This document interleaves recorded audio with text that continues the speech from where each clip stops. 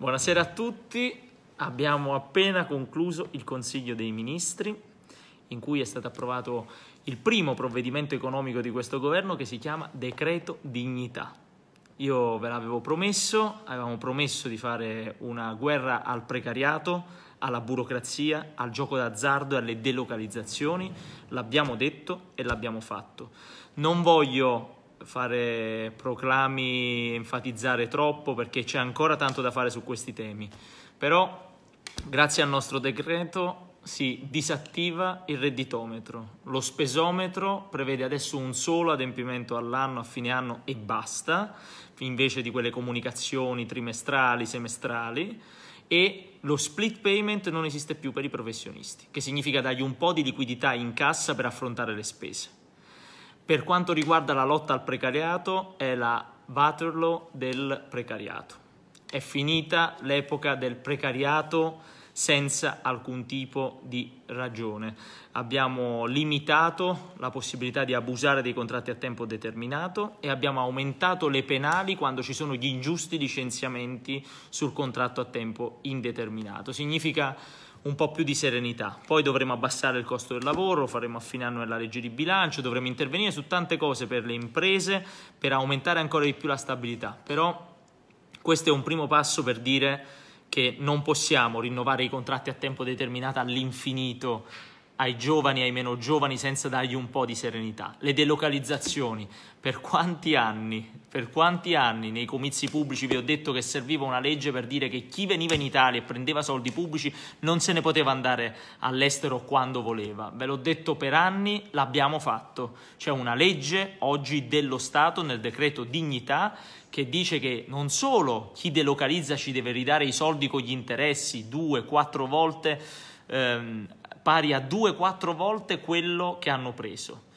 Ma in più, se prendono soldi e poi cominciano a delocalizzare in parte nei paesi dell'Unione Europea, cominciano a licenziare dipendenti, e allora gli chiediamo i soldi indietro con gli interessi.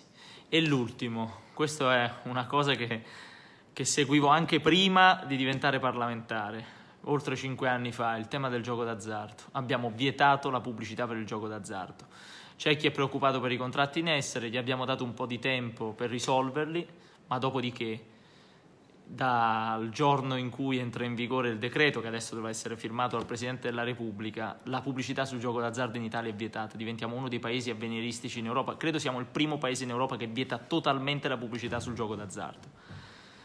Io non posso descrivervi l'emozione per quello che abbiamo fatto oggi in Consiglio dei Ministri, certo c'è tanto da fare, tanto, non voglio assolutamente illudere nessuno, però cominciamo a ristabilire un po' di dignità, un po' di civiltà per questo Paese e rimettiamo al centro le persone, rimettiamo al centro le persone con le loro debolezze, con i loro problemi e cominciamo ad aiutarle, senza più farle cadere in tentazione, senza più farle sfruttare. È stata una giornata importante perché oltre al decreto dignità abbiamo anche eh, concluso l'accordo di Italia Online. Li avevo incontrati a Torino, erano disperati i lavoratori di Italia Online perché l'azienda stava mettendo fuori oltre 300 persone. Oggi si è trovato un accordo grazie al dottor De Camillis, a Giorgio Sorial che hanno seguito questa vicenda al tavolo tutta la giornata. Io sono andato a salutarli quando hanno chiuso l'accordo e gli ho detto che faremo controlli su tutto l'accordo che hanno sottoscritto perché lo Stato deve garantire questi accordi. E poi è stata anche una giornata in cui abbiamo fatto il tavolo sui riders e abbiamo avviato i lavori per il contratto collettivo nazionale dei riders, il primo in Europa. Metteremo al centro le tutele di quei ragazzi e stabiliremo che chi fa il rider deve avere delle tutele, altrimenti è illegale la sua assunzione. E infine, oggi, sempre in Consiglio dei Ministri, abbiamo approvato un decreto che riguarda la terra dei fuochi, abbiamo approvato un decreto che fornisce le imbarcazioni alla Guardia Costiera libica per aiutare per i salvataggi in mare in Libia i migranti e nel decreto dignità abbiamo inserito una norma che aiuta gli insegnanti delle lauree magistrali, coloro che per effetto della, della um, sentenza del Consiglio di Stato dovevano essere licenziati e invece in questo momento abbiamo prorogato di 120 giorni gli effetti in modo tale da poter trovare una soluzione per quegli insegnanti che ci stanno a cuore e che abbiamo incontrato in Italia, in giro per l'Italia durante la campagna elettorale. Oggi è il giorno in cui le cose che ci dicevano che non si potevano fare si sono fatte e questo rappresenta tutta eh, vi spiega tutte le menzogne che ci hanno detto in tutti questi anni. Non consentite mai a nessuno di dirvi che non si può fare una cosa, perché noi siamo la dimostrazione che le cose si possono fare e che i problemi si possono risolvere. Da domani inizia un'altra era politica per il nostro Paese, senza pubblicità del gioco d'azzardo, con meno precariato, meno burocrazia e senza più prenditori che si approfittano dei soldi degli imprenditori, vengono qui, prendono soldi e poi se ne scappano all'estero.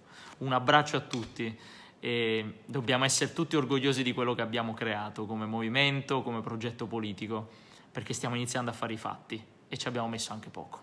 Ciao a tutti.